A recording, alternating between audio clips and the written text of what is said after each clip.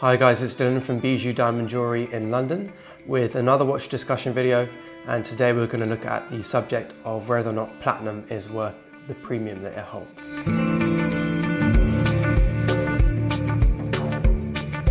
Okay, so I'm going to start with some facts behind platinum and some figures. So per year we see around 150 tons of platinum being mined uh, and that equates to around about seven uh, meters cubed worth of volume of platinum, which is not very big. In fact, that's probably the size of an average car. And then if we compare the total weight mined per year um, of platinum versus gold, it's actually 6%. So platinum is 6% of the amount of weight that uh, gold is mined per year. So it's a tiny fraction compared to gold. And obviously as we're comparing weight versus weight, uh, and platinum is 11% more dense than gold. That means that the actual volume, even though it's only 6% of the amount or the mass of gold mined per year, uh, the actual volume of the platinum mined versus the volume of the gold mined per year is tiny. So it's an incredibly rare metal. And of that amount of platinum mined per year, 40% goes to the watch and jewelry industry. So watches and jewelry is a major user of platinum. Platinum has been used on watches for many, many years. It's seen as one of the ultimate metals for a watch because of its durability and, and a few other different factors. Uh, but it's seen as one of the ultimate metals really for especially a dress watch as well. Uh, it's kind of a timeless metal. The biggest reason why people love platinum for um, watches is, is durability, like I said, and obviously for us at Bijou Diamond Jewelry, uh, platinum is our most popular metal because especially for things like wedding bands and engagement rings, it's really important that that metal is durable and can last a lifetime because obviously the girl or the guy, whoever's wearing that jewelry, uh, will wear that piece every single day for the rest of their life. So it's got to last a long time. And platinum is by far the most durable of all metals. It actually has a similar hardness to steel, and that's really down to the fact it's so dense. But obviously that's a really important trait for it to be resilient to scratches and dents, being jewelry. The whole point of a nice piece of jewelry is that it's shiny and, and looks fresh and, and pretty. Another great thing about platinum is the fact that when you polish the metal, the metal doesn't go anywhere because it's so dense. So if we use the example of gold, uh, when we polish gold, some of the metal uh, actually becomes shaved off the, uh, the surface of that gold and you lose a little bit of gold every time you polish that watch or, or that piece of jewelry. Uh, whereas platinum, because it's so dense, the atoms actually just move around uh, the structure of the watch or the piece of jewelry. And all you do when you polish is kind of just smooth out the level again. So when you scratch a platinum watch, you don't remove any metal from that watch or piece of jewelry. You actually just part the uh, atoms away and therefore you never lose anything from that watch. If you take that watch or that piece of jewelry to a very talented polisher, uh, like our watchmaker who's been in the business for over 20 years, uh, then that watchmaker will be able to uh, polish the watch and move those atoms around and organize them back into the similar or same way that it was when it left the factory. Of course, that's an extremely important point to remember, especially if you want to wear this watch for every day uh, for many, many years, which is why a lot of old Patek Philippe's are in platinum because they're brilliant dress watches and brilliant everyday wearers as well as being extremely luxurious, but it also means that you can polish them further down the line. And it's not like your watch is slowly like wasting away or corroding away like it would be if it was a gold watch. Most watches and jewelry use a um, 950 platinum, or it says on the case, watch case, or in the hallmark stamp of a ring, 950, and that stands for 95% pure platinum. Uh, and usually the platinum is alloyed with another metal. Usually that is ruthenium, and the reason why companies um, alloy platinum with ruthenium is because the ruthenium adds an even more durable aspect to the metal, and makes it even more scratch resistant and corrosion resistant. Um, however, that is an extremely difficult alloy to create, much harder than the uh, steel and the uh, gold alloys that different brands make. So that is part of the reason why the brands make so few of these platinum watches, which is what brings me on to my next point, which is why are platinum watches so expensive? Well, firstly, platinum is extremely rare, like we had a look at before, uh, where we see that only 150 tons are mined a year. Even though that sounds a lot, when you think about how dense met that metal is, it's actually not very much. And like I said, it's smaller than like a normal car. So in terms of volume, so that's not very much metal per year, which makes it extremely rare. Uh, less watches are made from platinum because of that, because it's a rare material and it carries a higher price. So there's not as many people out there that can afford a platinum watch. therefore the brands don't make as many of them. Because the brands don't make so many of them, and the fact that the alloys are so expensive and difficult to create, the brands have to put a lot of money into the machinery and all the different parts throughout the process. And because they're not making mass production platinum watches, they can't necessarily make their money back as efficiently as they can on a steel or gold watch. Therefore, that process on that platinum watch costs them a lot of money. And also the process to machine and shape platinum is much, much longer than gold. You have to take much longer to machine and drill and uh, bore different bits of platinum because the tools can become blunt very quickly. So you really have to take about twice as long to do each bit. And in fact, versus if we look at this platinum Daytona here, if we were to compare it to a rose gold Daytona, it would actually take three times as long to create this platinum Daytona versus the rose gold one, purely because of how long it takes to machine uh, those parts because the metal is so dense and it's so easy to damage tools and machinery because of its amazing density. Uh, next point is the appearance of platinum versus gold and other metals.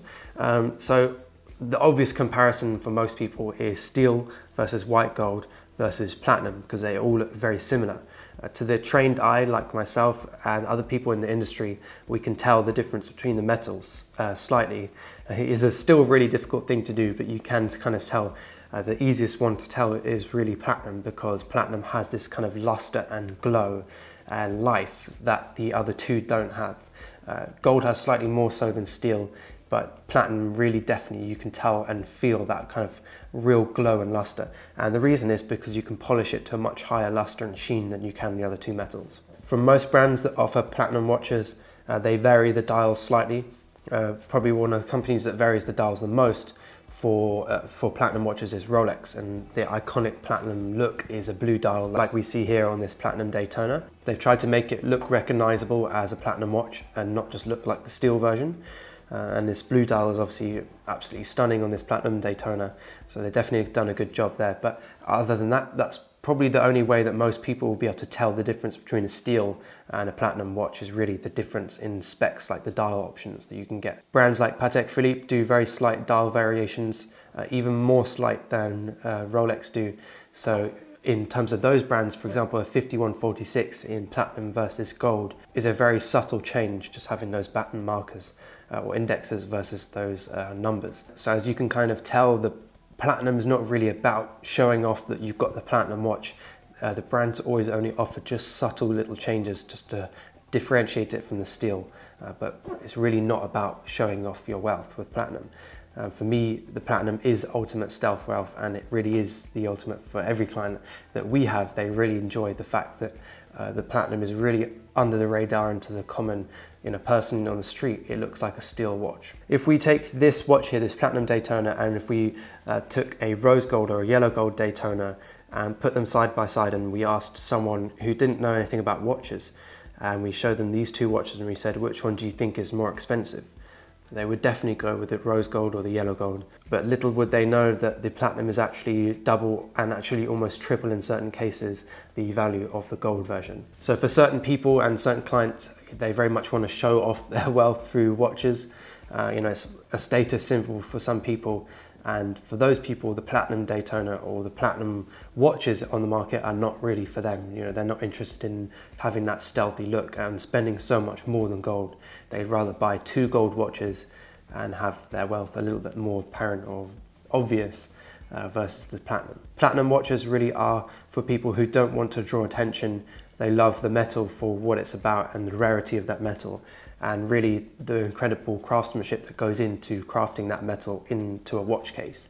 Uh, it's really for people who are a little bit more interested in watches and not necessarily bothered about trying to show off their wealth. So to conclude, and really thinking about is platinum really worth it? Let's have a look at some of the main points that differentiate platinum from other metals.